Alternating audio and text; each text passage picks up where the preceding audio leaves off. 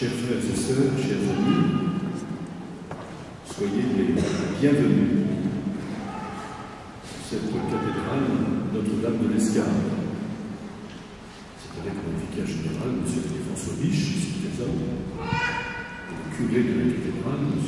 Damien Bernier, que je suis heureux de vous accueillir ici pour ce jour solennel de l'ordination sacerdotale de six diacres la Fraternité Saint-Pierre.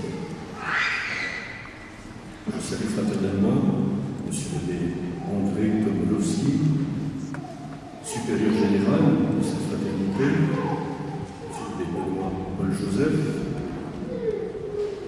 supérieur du district de France, et M. Vincent Victon, supérieur du séminaire de Tigrasbal, mais aussi tous les prêtres et les séminaristes de la fraternité Saint-Pierre, d'entourer ces ordinants aujourd'hui. Je salue évidemment nos six ordinants. Je vais essayer de rappeler le prénom. Je vous donner dans l'ordre décroissant d'âge. C'est cet ordre-là que je les ai rencontrés. Alexis, Guilhem, Felipe, Paul, Guy et Beau. Je salue affectueusement leurs parents, leurs leurs amis, qui sont venus nombreux pour les entourer en ce jour si important. Pour eux, mais aussi pour l'Église tout entière. Nous les entourons tous de notre amitié, de notre affection, de notre prière, cette prière qui sera si intense, en particulier au moment où nous chanterons les litanies des saints. C'est toute la communion des saints qui les enveloppera de cette prière, de cette intercession, alors que nous sommes prosternés à terre en signe d'abandon total entre les mains du Seigneur, dont ils sont appelés à devenir les instruments de sa grâce le salut des âmes. L'Église triomphante, les saints du ciel, à par la bienheureuse Vierge Marie. L'Église souffrante aussi, prions pour les âmes sommes ordonnés pour les vivants, pour les défunts, mais ils prient aussi. Et l'Église militante que nous sommes, tous ensemble, d'un seul cœur, d'une seule âme, nous intercédons auprès du Seigneur pour qu'il communique en abondance le don de l'Esprit Saint à ses ordinateurs. Ce fut très important pour moi de les rencontrer. Nous avons passé au mois de mai une journée ensemble à l'évêché de Bayonne. J'ai célébré la messe avec eux. J'ai consacré leur calice et leur baptême. Nous avons échangé tous ensemble, partagé le repas fraternel et j'ai pu les rencontrer en marin. C'était important pour moi de connaître leur itinéraire, de connaître l'histoire de leur vocation. Je pensais d'ailleurs à cette réflexion profonde du pape Émeric Benoît XVI dans sa première grande encyclique, Deus Caritas, où il dit à l'origine du fait d'être chrétien, il n'y a pas une décision éthique, une grande idée, mais il y a une rencontre avec un événement, une personne qui donne à la vie un nouvel horizon et par là son orientation décisive, comme cela peut s'appliquer au combien la vocation sacerdotale.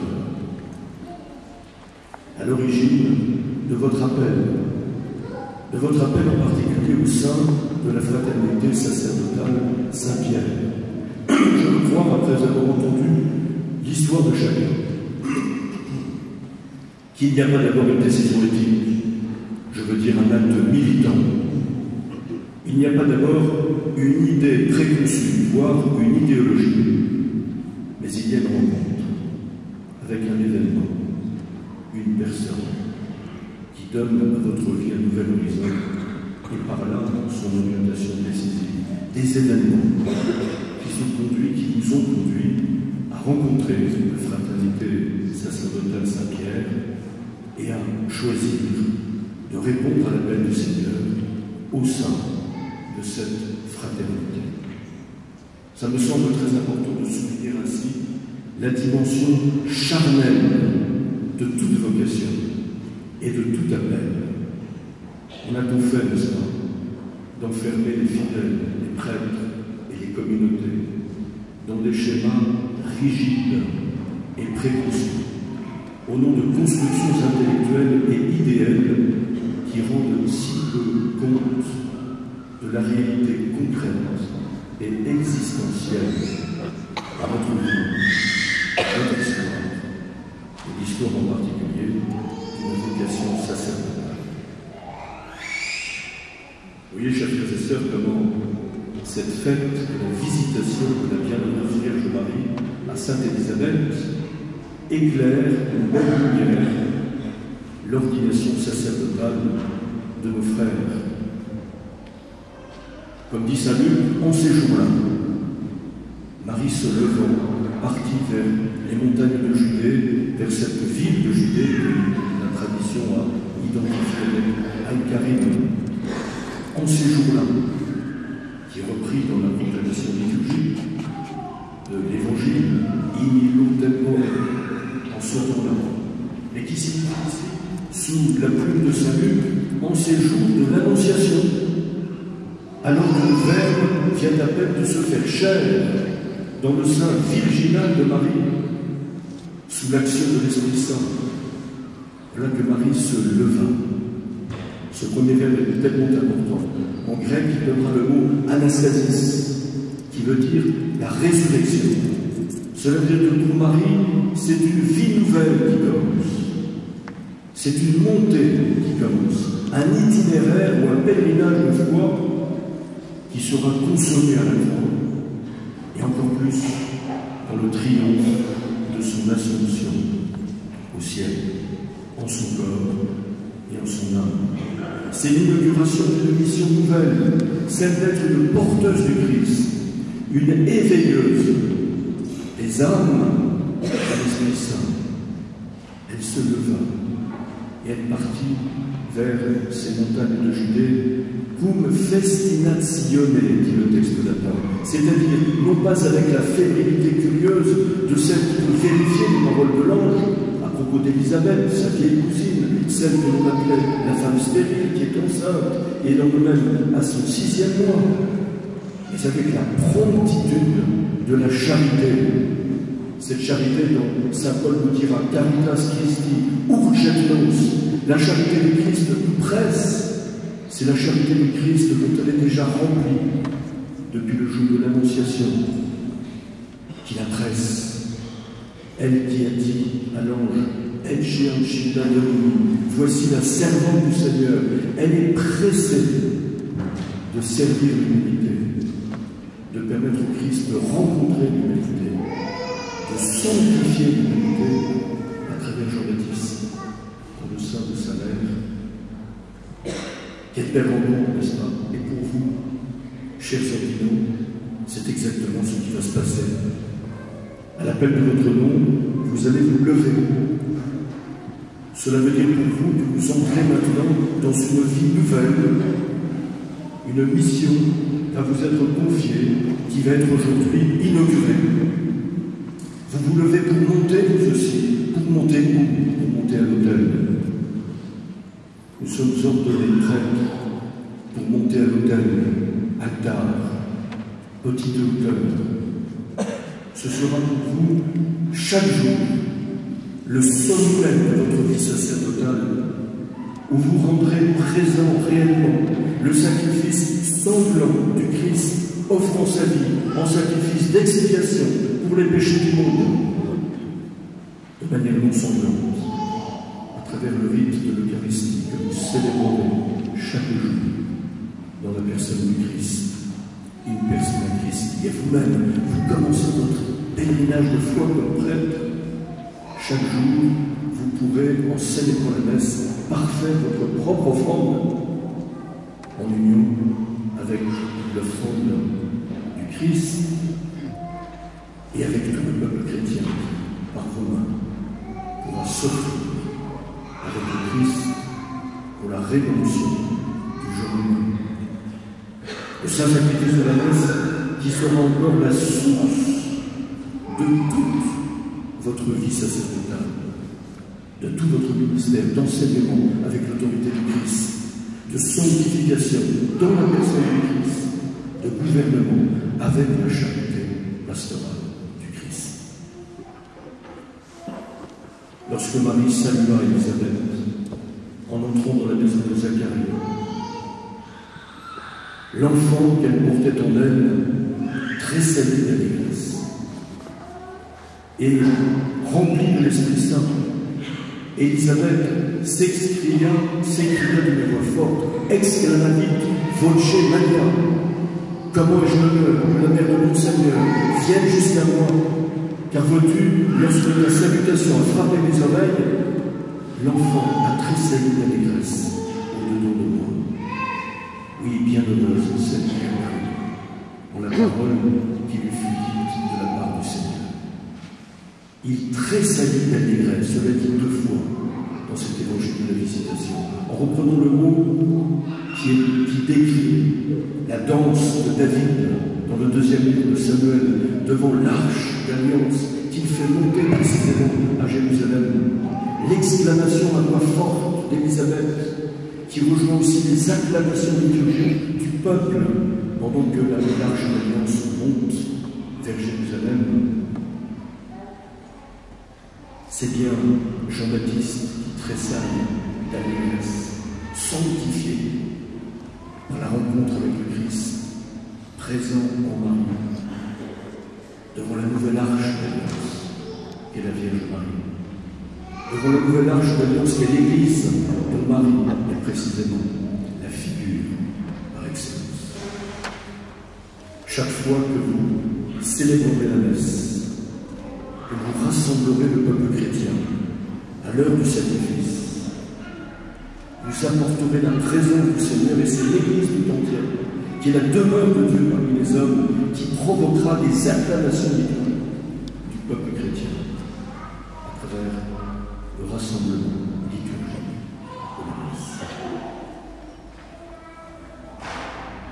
Voyez, c'est extraordinaire ce grand mystère de la visitation.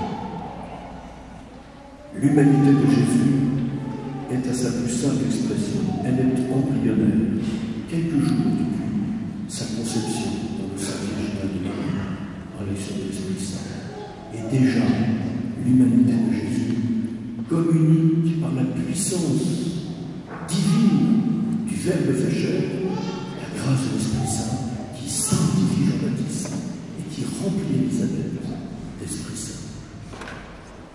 Quelle belle image suggestive du ministère sacerdotal qui va vous être aujourd'hui conféré. Vous deviendrez des instruments par votre humanité, configurés ontologiquement au Christ tête, pasteur, serviteur et époux de l'Église, par les gestes de votre ministère, vous communiquerez la grâce de l'Esprit Saint.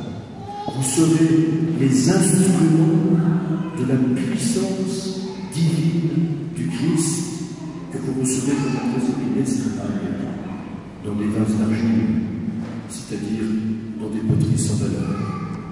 Ayez conscience que vous représentez le Christ au sein du peuple chrétien, que vous rendez présent le Christ au point que vous pourrez vous dire Alter Christus, un autre Christ, ipse Christus, le Christ même, comme dit la tradition des anciens temps. Vous pourrez dire avec Saint Jean-Baptiste, lorsqu'on lui demandait qui es-tu, je ne suis pas le Christ. Car votre humanité ne sera pas comme celle de Jésus, l'instrument conjoint de sa divinité en vertu de l'union hypostatique. Elle restera un instrument séparé. Votre humanité restera celle d'un homme pécheur, réconcilié par la trace du baptême, mais qui aura toujours besoin de conversion. Rappelez-vous que vous devrez toujours demeurer d'humbles serviteurs, venus comme Jésus, non pas pour être servis, mais pour servir et donner votre vie en rançon pour la multitude. Rappelez-vous que vous aurez comme dit Saint Pierre dans sa première épître, à paître le troupeau Dieu qui ne sera jamais votre troupeau, que vous ne pourrez jamais accaparer à votre personne et à votre autorité, qui demeurera toujours le troupeau de Dieu. Et vous aurez le maître, non pas en commandant ton maître à ceux qui vous seront confiés, mais en devenant les modèles du troupeau, appelés sans cesse, avec vos frères et sœurs baptisés du peuple chrétien, à devenir des saints et à vous convertir toujours davantage en reprenant cette parole de Saint Jean-Baptiste. Il faut qu'il croisse, lui, dans les âmes, et que moi, je diminue. Enfin, pensez à cette acclamation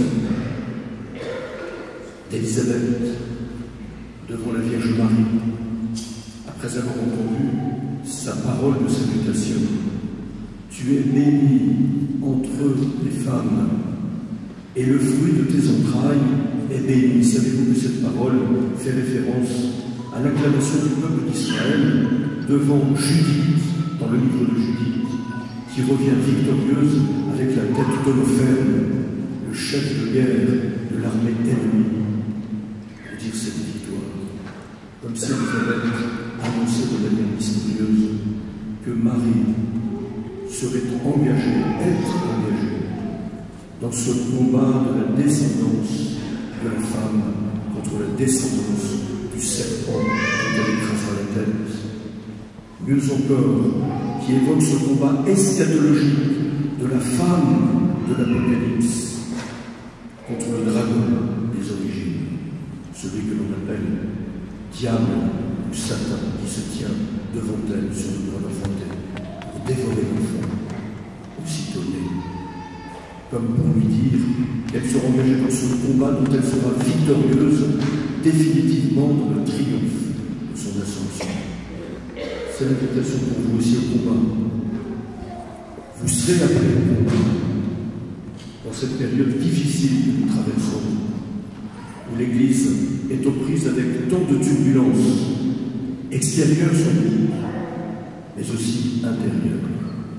Ce combat pour lequel vous devez être fortifié aujourd'hui, c'est le sens de l'onction des mains avec l'huile des catéchumènes, pour que vous soyez forts, comme dit le pape François dans sa lettre apostolique sur l'appel à la sainteté dans le monde actuel, la vie chrétienne et au combien la vie sacerdotale est un combat permanent.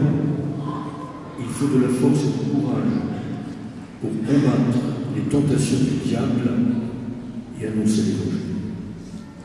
Tournez-vous et tout le monde me chers frères et sœurs, vers la Vierge Marie que nous célébrons précisément aujourd'hui la visitation.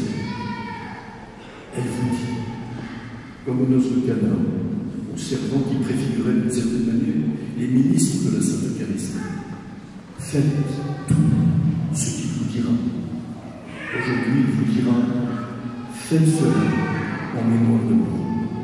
Il vous dira encore, recevez l'Esprit Saint. Tous ceux à qui vous remettrez les péchés leur seront remis. Tous ceux à qui vous les maintiendrez, ils leur seront maintenus.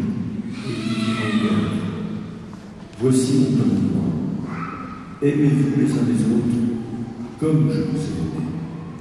Je ne vous appelle plus serviteur, car le serviteur ignore Je vous appelle mes amis, car tout ce que j'ai entendu de mon Père, je vous l'ai fait connaître. Mon commandement, le voici. Comme je vous ai aimé, aimez-vous les uns les autres.